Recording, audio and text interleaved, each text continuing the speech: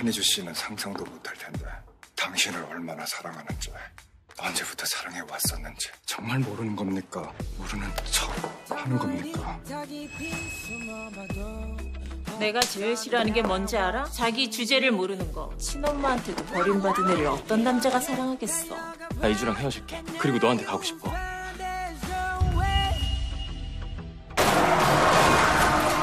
단 한 번만 더 기회를 주신다면 내 모든 걸 걸고 한이주, 너 그들에게 복수하겠습니다. 결혼 유라 말고 나랑 하면 어떻겠어요? 너 돌았어? 네. 더 건드리지 말라고요. 나를.